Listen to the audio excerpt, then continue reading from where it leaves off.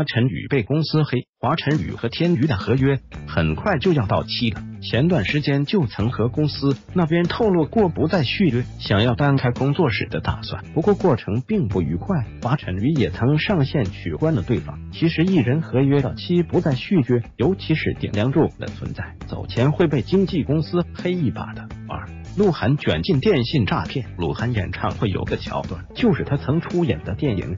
摆渡人中的一个桥段，鹿晗在现场给粉丝打电话，想问粉丝二群时想听什么歌，但被粉丝当成了电信诈骗。鹿晗，你是鹿晗，当我傻？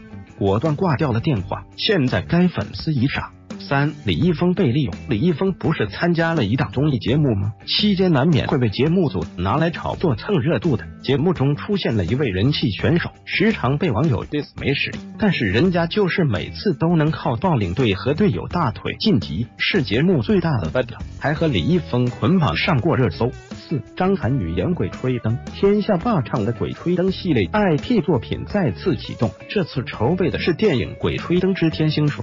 张涵予演胡八一，姜武演王胖子，卢靖姗演孙雷阳。这次选角很靠谱，希望剧情也能精彩。五姚土转行当网红，姚土一直是走青衣女演员的路线，出演的影视剧作品也多是现实题材的正剧，所以即使坊间人气热度不高，但是忠实观众很多。苗圃最近跑去直播了，而且是吃播，打出的宣传都是新晋吃播红人的吃播首秀。六新还珠演员早前就曝光了《还珠格格》筹备新版的消息。至于新版演员阵容，一直是大家所关注的。现在网传一份定妆名单，杨紫演小燕子，张馨予演下紫薇。不过这份名单很快就被剧方打脸。该剧预计在今年年底开机拍摄。小表妹们想看谁的爆料？